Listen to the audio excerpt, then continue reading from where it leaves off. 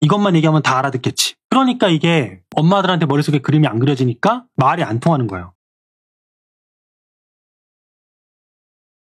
통번역 경력 20년인데 스펙을 알려도 광고 효과가 없다. 이게 무슨 내용이냐? 영화관을 하시는 분이 통번역자이시고 경력이 20년 되셨다라면 스펙으로는 뭐 끝판왕에 가까운 거겠죠. 근데 스펙으로 애들이 안 모인대요. 그래서 이제 고민하신 건데 서울예대 영어 석박사입니다. 박사님이세요. 통번역 경력 20년입니다. 대학 출강 경력도 있으십니다. 경력 이력 전부 적어서 광고 전단지 돌렸지만 별 반응이 없었다라고 얘기하십니다. 재원생 현재 90%가 아는 지인들입니다. 아는 사이로 소개로 들어오지 광고로 온 학생이 없대요. 고민하실만 하죠. 그래서 일단 이 원장님께서 하시는 게 학원은 초중등 writing speaking 중심으로 가고 싶은데 어떻게 광고하는 게 좋을까요? 뭘 잘못하는 건지 모르겠어요.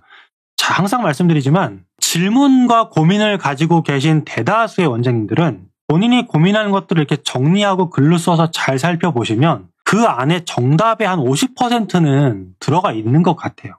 이것도 한번 거꾸로 한번 생각해 볼까요? 학부모 입장에서. 제가 항상 말씀드릴 때 학부모 입장에서 생각해 보자고 말씀을 드리잖아요. 엄마 입장에서요. 우리 애가 무조건 박사님에게 배우기를 원할까? 어떻게 생각하세요? 무조건이라는 말이 통할까요? 어, 글쎄요. 이 박사님이 굉장히 유명하신 분이라면은 그럴 수도 있긴 하겠지만 초등학교 1, 2학년 영어를 배우는데 뭐 그렇게 오히려 박사님이면 수강료가 비쌀 것 같다는 생각도 좀 들 것 같고요. 음. 우리의 영어는 무조건 통번역가에게 배우기를 원할까? 라고 물어본다라면 엄마들은 또 무조건이라고 얘기할까요? 뭐 기회가 있으면 좋을 수도 있지만 꼭 100%라고 말씀드리기는 애매할 수도 있을 것 같아요. 즉 여기에서 그 원장님이 느끼시는 괴리감이 있는 겁니다. 지금 대상이 초등학생이에요. 이게 엄마 입장 초중등이에요. 초중등. 초중등.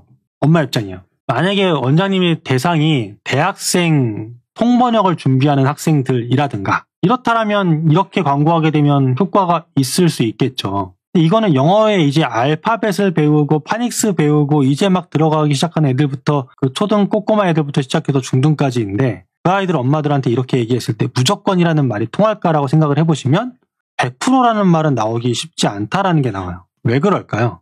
잘 몰라서 그렇습니다. 우리는 이런 것들을 스틱이란 책을 보시게 되면 이런 것도 일종의 이제 지식의 저주, 지식의 결핍에 해당되는 건데 즉 원장님은 알고 계시는 거지만 엄마들이 이해 못하는 거예요. 이런 걸 우리는 뭐라고 하냐면 기획의 정석이란 책에 나오는데 OY라고 얘기합니다. 이렇게 얘기해 볼까요? 통번역가에게 영어를 왜 배워야 할까요? 다른 선생님들도 있는데 도대체 통번역가에게 배우면 영어가 뭐가 차이가 날까요? 뭐가 차이가 난다고 해야 돼? 제가 통번역가가 아니니까 대답이 어렵네. 뭐 뭐가 나왔다고 쳐요. 그럼 통번역가는 이러이러한 것 때문에 뭘 더 잘 가르쳐 줄 수 있다라고 얘기하겠죠. 그러면 통번역가의 영어 공부법이 왜 그렇게 다른 겁니까? 뭐 이런 것도 할수 있고 왜 그 방법이 좋은 걸까요? 뭐 이런 걸 물어볼 수 있겠죠. 결론적으로 뭐가 나왔어요. 예를 들면 영어를 한국에서 공부한 사람 중에 가장 원어민스럽게 또는 원어민보다 더 고급진 영어를 구사할 수 있는 사람은 통번역가일 겁니다. 그렇지 않을까요? 정말 언어를 제대로 한 거니까? 그렇네요. 진짜 웬만한 원어민보다 더 고급 영어를 구사하는 유일한 사람이 통번역가. 뭐 말 될 것 같아요. 그러다 보니까 통번역가한테 배운다라는 거는 뭐랄까요?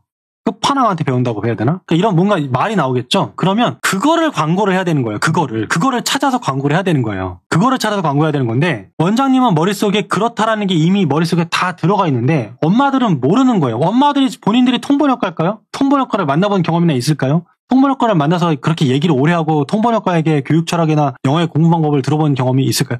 없죠. 원장님한테는 그게 머릿속에 그려지지만 엄마들한테는 없어요. 없는데 없는 걸 원장님이 혼자만 아는 걸 갖다 계속 얘기하시는 거죠. 이것만 얘기하면 다 알아듣겠지. 그러니까 이게 엄마들한테 머릿속에 그림이 안 그려지니까 말이 안 통하는 거예요. 그러면 저라면 이렇게 할 것 같아요. 원어민보다 더 제대로 영어를 구사하는 통번역가라는 말이 조금 이제 뭐랄까 말이 좀 기니까 통역가에게 영어를 배우세요. 이렇게 카피를 만들어 본다고 할까요? 그렇게 되면 여기에 딸리는 게 뭡니까? 왜 원어민보다 더 제대로 된 영어 구사인가? 이런 것부터 통역가의 영어는 뭐가 다른가부터 최근 유명했던 통역가들의 일화나 이런 것들을 통해서 통역가에 대한 이미지를 좀 심는 작업을 한다던가 뭐 이런 식으로 해서 본인의 이 스펙을 갖다가 일단 알리고 이해시키는 작업들이 좀 있어야 되는데 그런 게 없이 얘기를 하고 있으면은 엄마들 입장에서는 굳이인 거예요. 뭐 가서 배우면 좋겠지만 굳이 이 사람 아니면 안 된다는 게 없는 거죠. 왜냐하면 엄마들이 지금 아이들한테 영어를 가르치는 게 얘를 통번역가를 만들겠다고 영어를 작정하고 가르치는 엄마가 몇이나 될까라는 거죠. 대다수는 그냥 외국인하고 한마디라도 했으면 좋겠고 영어는 필요한 언어래니까 했으면 좋겠고 요 정도 느낌밖에 없는 거거든요. 근데 이제 거기에 대고 박사, 통번역 이렇게 되다 보니까 어떻게 보면은 약간 초중등 특히 초등 엄마들이 아이들하고 잘 맞는 선생님을 원하는 상태에서 박사, 통번역가, 경력 20년, 대학 수업 굉장히 권위적인 느낌이 더 강한 워딩이에요. 그럼 이제 거꾸로 얘기하면 초등 엄마들은 야 대학교에서 수업하시던 분이 아이들 마음을 잘 알까? 그러면 초등 마음을 잡기 위해서라면 쉽게 말하면 아이들과 어떻게 할 수 있는지를 보여주는 작업이 있어야 돼요. 예를 들면은 기존 학생들 뭐 간증이라고 해야 될까요? 후기 이런 것도 있어야 되고요. 본인이 자녀가 있으시다면 본인 자녀 이야기 나도 아빠기 때문에 애들 마음을 안다라 이런 것들이죠. 만약에 제 생각에 박사 출신이라고 했을 때 초등학교 엄마들이 환호할 만한 박사는 저기 누구야 오은영 박사님처럼 아동심리학 이런 박사님 아닌다면은 엄마들이 먼저 나서기 쉽지 않을 것 같아요. 그래서 그런 부분들에 대해서 본인의 경력을 살리실 거면 경력이 이 아이들한테 필요하고 이 아이들한테 어떻게 적용될 수 있는지 그러니까 이런 소통의 관점을 조금 더 많이 접근을 해주셨으면 좋겠어요. 이게 만약에 고등학생 대상으로 하거나 하신 거라면 그래도 좀 먹혔을 것 같은데 초중등이시기 때문에 초등 엄마가 바라는 관점과 원장님이 강조하시는 관점은 핀트가 조금 안 맞는다라는 느낌이 있습니다. 그거를 조금 다듬어 보셨으면 어떨까 싶습니다. 그리고 이분들 있죠?